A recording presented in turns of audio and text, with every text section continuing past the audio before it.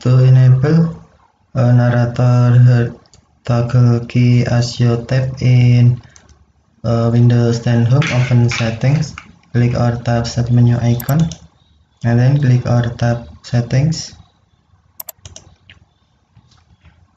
Select easy of access. Click or tap narrator.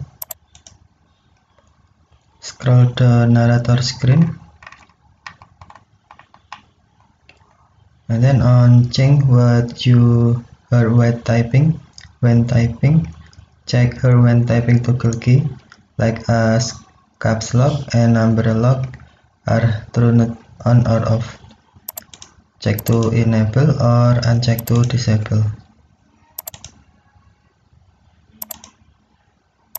Okay thank you for watching. Have a nice day